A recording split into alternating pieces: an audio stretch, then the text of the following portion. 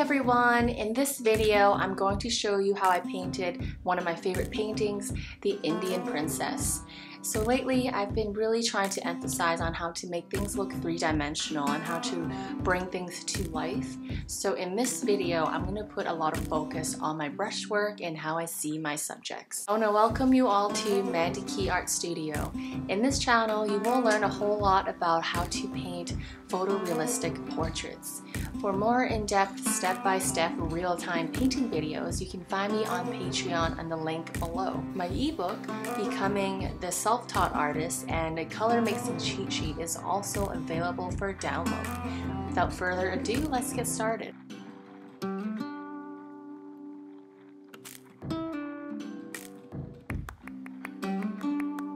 This year, I've taken a step back and went back to explore some of the techniques that I learned when I first started taking lessons. I noticed that I started to pick up some bad habits in the last few years when I was rushing a lot of my paintings and getting ready for exhibitions. So this year, I got in touch with my art teacher and I'm trying to focus more on the quality rather than the quantity of what I'm painting. One major change in how I'm painting now is that I'm using a physical reference photo so I can color match and improve my colors. I find this a lot better to improve my color mixing abilities compared to looking at a monitor for reference. A screen monitor always makes a photo look more vibrant than it really is, and it's hard to understand the true colors of the picture. And you can't put paint on your screen, so it's hard to work with. So here I'm actually holding the photo in my hand, but I'm displaying the model on this on the screen here so you can follow along with what I'm painting.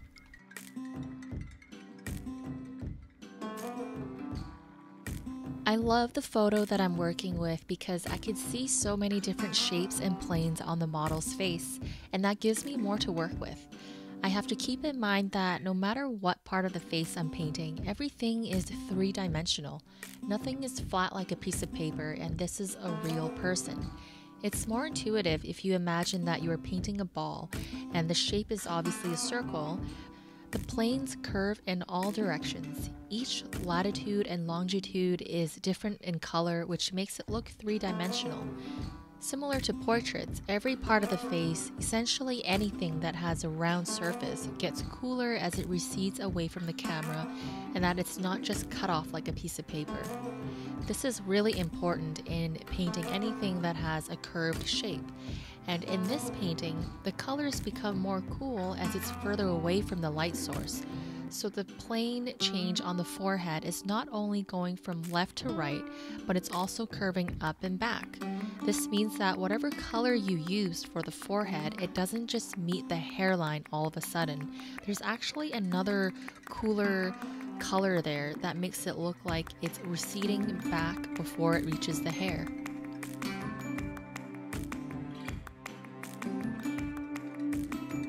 And that leads me to color strings. Knowing how the planes change on your subject will help you understand the colors that you should be looking for. Sometimes we have to know the subject first before we mix the color. Now I won't be showing the color mixing palette in this video because I want the focus to be on brush handling. And this particular technique that I'm demonstrating is applying color strings. Imagine a curved surface with light shining on it from one side. The color on the surface changes as the planes change, and each plane is a different color string. Now, going back to painting a ball, now imagine a globe. We all know that it has latitudes and longitudes. If you were to paint the globe, each row of latitude is a color string, and so is every vertical line of the longitude. Each one of those color is a string, and I'm mixing and applying each string individually. So it's kind of like sculpting with oil paint. And instead of doing what I usually do, which is applying paint on the whole area and then mixing additional paint on it while it's still wet, here I'm treating each plane change as a different color. Now, this works particularly well under the circumstance that the lighting and the angle of the model creates very dynamic colors. You don't want to choose a photo that's overexposed, like a flash cam. Which flattens out a lot of colors and you lose the beautiful natural facial structures and features. You want the model's pose to be anything but straight up and front facing, like a passport photo. It can even just be a slightly tilted face. So, this will create a dominant side of the model's face and of the photo to have one dominant light source. You also want to be able to see everything in the photo without it being overexposed or too dark that you can't see what's going on in the shadows. That way, you will be able to see the model's face like a 3D structure with different colors on each plane.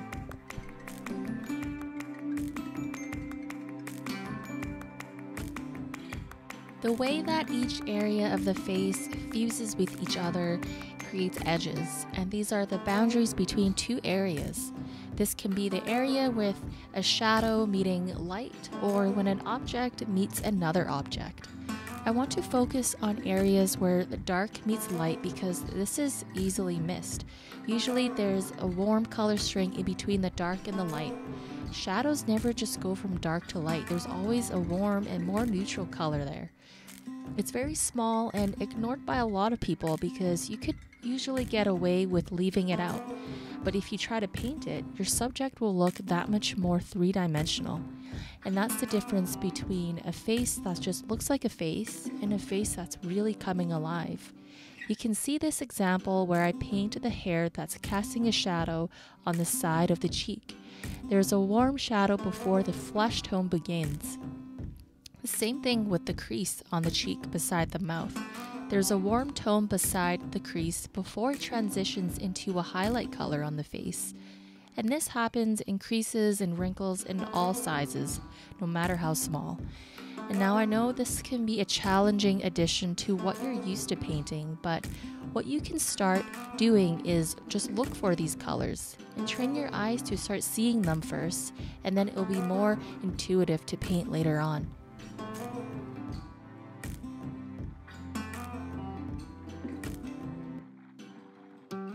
Another technique that I'm demonstrating here is how I'm painting outside in, meaning I'm painting around the face and then working my way into the focal point of the painting.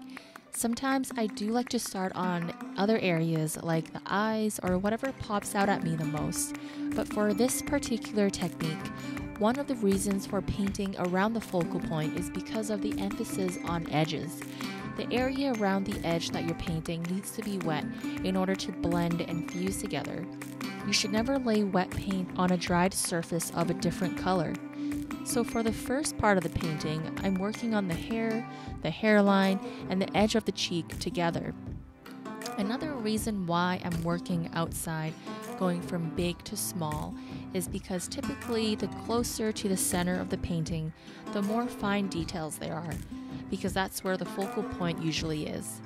And therefore, you waste less time if you have to change or reduce something along the way that has less detail than, than to render a lot of fine details for a long time and then having to change it after.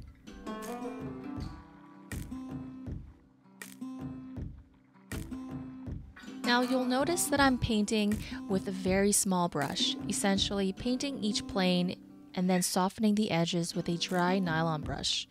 And you'll also notice that I labeled dry brushing in all the areas where I'm doing this blending technique. The most important thing about this is always keeping the nylon brush dry. And after every softening touch, wipe the brush on a paper towel to make sure there's no paint on it. And keep blending and softening the paint. When it's over softened, you can come back and add more paint to make certain parts stand out more. Dry brushing is not only to blend, but you can also move the paint around to change the shapes in your painting. This technique is amazing, and it's basically my get out of jail free card that I picked up on since I started painting. Because sometimes the brush that I'm painting with is hard to get it right from the get go. And having a dry brush will allow me to move the paint around or blend without adding more paint or making it more messy. This dry brush will allow you to carve your subjects with more precision, especially when you're painting small and detailed areas of the face, like the eyes and the mouth. In summary, these are the main techniques that I'm demonstrating throughout this painting. Always analyze the subject that you're painting, whether it's a face, fruit, landscapes, or florals.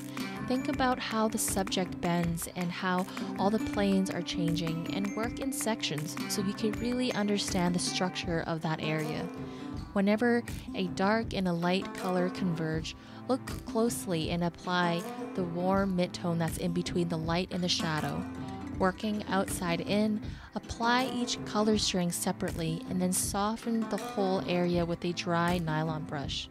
And last but not least, keep practicing because that's how you will continuously evolve and rediscover yourself as an artist. Let me know of any questions in the comments below. I hope you enjoy the rest of the painting as you watch her come to life.